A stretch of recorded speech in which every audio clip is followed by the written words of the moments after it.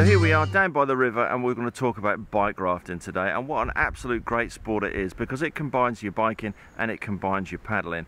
Now first and foremost to be able to bike raft you need a couple of things and the most important things is a bike and a pack raft. When it comes to pack rafts a lot of the manufacturers will say that their pack raft can carry a bike on the front but as far as I'm aware there's only two models that have been specifically designed to carry a bike and one is the Alpacka Caribou which is the pack raft we're going to be using today and the other is the GP Cargo. If you know of any other model specifically designed, please let me know in the comments below. So why do you need a specific pack raft for bike rafting? Well, the main thing is weight distribution. Now, the Alpacka Caribou was designed specifically with an upturned bow, so once you put the weight onto the pack raft, it's going to sit properly in the water.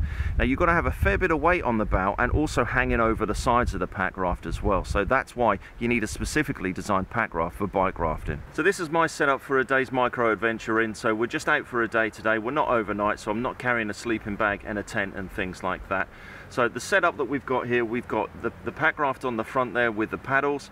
I've got a couple of water bottles. One of those carries a LifeStraw inside of it so I can always uh, filter some water if I want to. And then the saddle bag at the back there, that's carrying my PFD and a few other bits and bobs as well. So I've been using the Alpacka Caribou for about three years and it's absolute fantastic pack raft for bike rafting. It really, really is. I'll stick a link to the Alpacka Caribou in the description below if you're in the market for a, a bike rafting pack raft. It's lightweight, it's got a cargo fly on the back so I can shove all of my gear in the back of it. It's just absolutely brilliant. It really is. The one thing I will recommend is once you unroll your pack raft, put your tie down straps in first for your bike because once you inflate that pack raft it can be a bit tricky to try and feed your tie down straps in once the boat's fully inflated.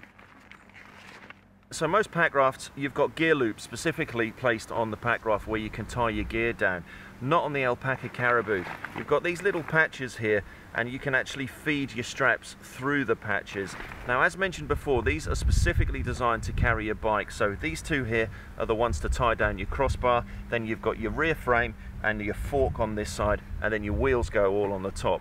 As I mentioned before, make sure you feed your, uh, your straps through this before inflating the boat because otherwise it is pretty difficult to try and feed them through once the boat's fully inflated. So the one thing I did forget to mention is setup. So when you're setting up your pack raft with your bike on top of it, try to do it as close as you can to the water because they can be a little bit precarious to try and maneuver once you've got your bike on top of your pack raft. So if you can set up on a pontoon or set up right next to the river or the lake, that's your best option and then you haven't got to carry too far.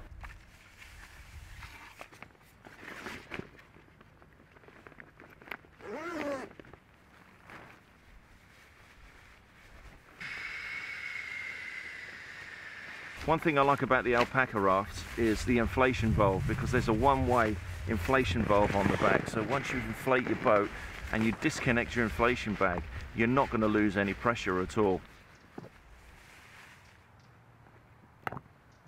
So that's the Alpacka Caribou inflated using the inflation bag. I'm just going to bring this up to pressure using my lungs there and then we'll temper the boat once we've got the bike on and it's sitting into the water.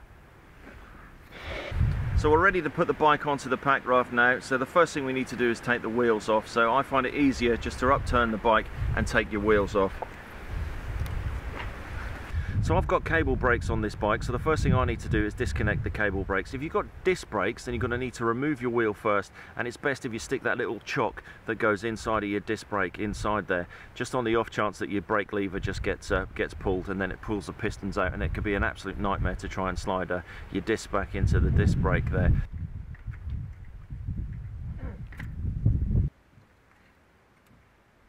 So next we put the bike onto the pack raft so that the pedal is resting on the left sponson and then I just like just to tuck that pedal right up to the top there and then you can just turn your forks over and then that is in position so that you can then tie that down and you've got your crossbar just where you got your straps that we put in earlier as well. And then the final one for the frame, so I like to bring that over the chain to keep the chain out of my way and then that goes over both parts of the frame and then tucked nice and tightly in. So the rear wheel I like to just rest on that pedal there and then the front wheel I'll bring over this way a little bit because there's quite a lot of weight hanging over that side so I do want to spread the weight as much as I can and then we just use some other velcro straps that we've got just to tie the wheels onto the frame.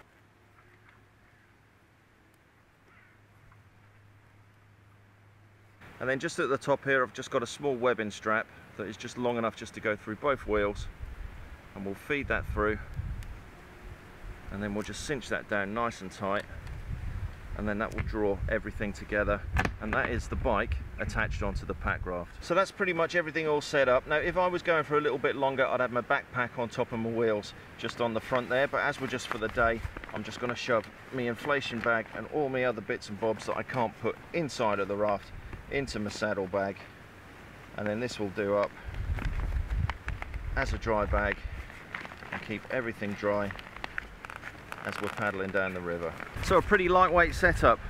Now PFD or should I say flotation device because we're going lightweight and we're only carrying a few things and most of the time anyway I like to use this jacket which is the BuoyBoy by Anfibio which is a completely inflatable flotation jacket. Now it's not classed as a PFD. If you want to see further information about this jacket, I'll stick a link up the top there to a review video I've done of this jacket. But I absolutely love it. For pack rafting, day trips, for long excursions and things, I think it's absolutely brilliant. It's not the sort of thing I'd be wearing on white water, I can guarantee. But on a day like today, when you're just doing calm water paddling, it's absolutely brilliant. It really is.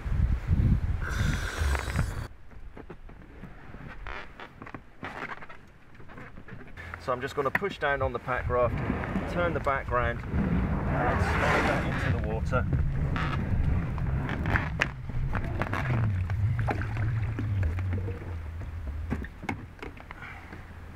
And then having your paddle on a lanyard, that really, really helps just to tie that off. Then leaving the pack raft in the water just for a couple of minutes so you can then temper it and then head out on your adventure.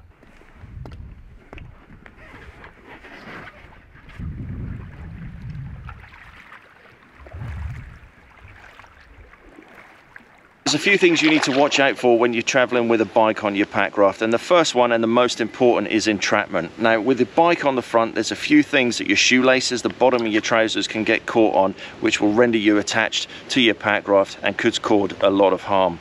So one thing I would recommend is in the summer months when it's nice and warm in the water is just having a couple of dry runs on bailing out on your Packraft there bit of advice I can give you is if you do have to turn turtle, bring your knees up to your chest and tuck your feet in and come out that way. The other thing to watch out for is just knocking your paddle. Now with your bike on your Packraft there, you've got a derailleur hanging off that side, you've got your forks hanging off that side, you've got the possibility of knocking your paddle. Now if you're using something like a really expensive carbon fibre paddle, that's something that you really need to stay away from. So things you can do to just make sure that you don't knock your paddle is this adjustable paddle here. I've shortened this down a little bit so it's a little bit shorter. And then just practice, practice, practice, just getting used to just putting your paddle strokes in uh, so that you're not touching any part of your bike at all.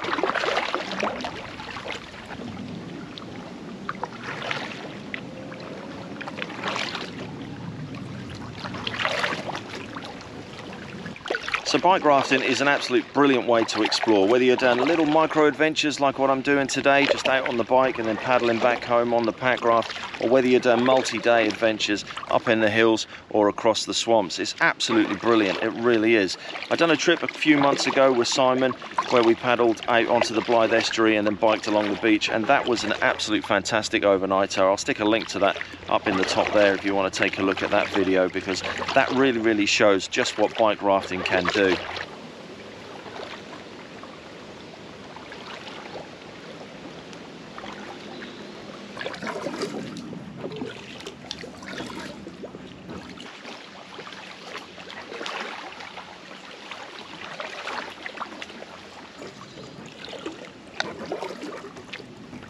So there we go, that pretty much brings this week's video to a close. I hope you found it interesting, I hope you found it helpful. I'll stick some other uh, links in the description below to other videos and other websites if you're looking into uh, taking up the sport of bike rafting. So my name is Martin and I'm into hiking, bushcraft, pack rafting, fishing, pretty much being outdoors. There's absolutely loads and loads of content on the channel, so please do have a look. If you're new to the channel, please don't forget to hit that subscribe button and we'll catch you next time on the next one.